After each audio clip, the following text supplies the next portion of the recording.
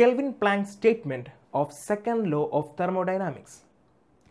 Before learning about Kelvin Planck's statement, one should know what is a thermal energy reservoir, a heat engine and thermal efficiency. Thermal energy reservoir. Consider our atmosphere. The atmosphere does not heat up by the loss of heat from the residential building or the heat from the vehicle. Similar examples are large bodies of water like lakes, rivers, etc. All these are thermal energy reservoirs. A thermal energy reservoir is a large body of infinite heat capacity capable of supplying or absorbing large quantities of heat energy without changing its temperature. A thermal energy reservoir that supplies heat energy is called a source and one that absorbs the heat energy is called a sink. Example of source of heat energy is sun and example of sink is atmosphere. Heat engine. We know that the engine is a device that converts any form of energy to mechanical work or energy. A heat engine is a special device which can convert the heat energy to work by operating in a cycle. The heat engine receives heat energy from a source which is at high temperature such as oil furnace. A part of this heat energy is converted into work.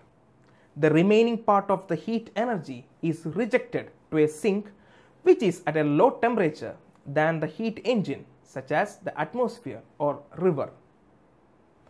A heat engine operating in a cycle produces work in a sustained manner. The heat engine consists of a fluid called working fluid.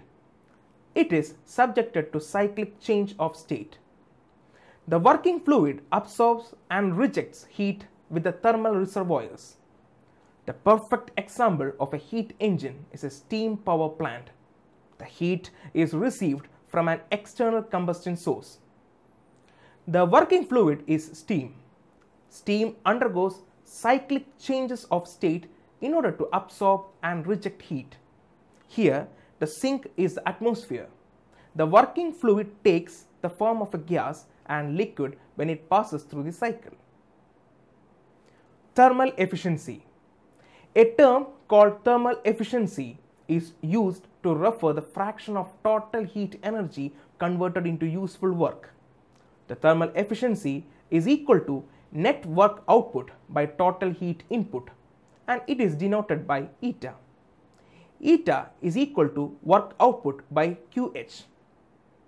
Here the work done is the difference of heat absorbed from the source QH and heat rejected to the sink QL.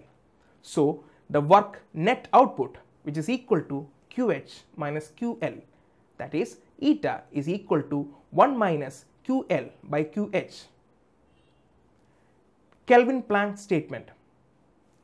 The second law states that it is impossible to construct an engine which operating in a cycle will produce no effect other than exchange of heat from a single reservoir and produce equal amount of work.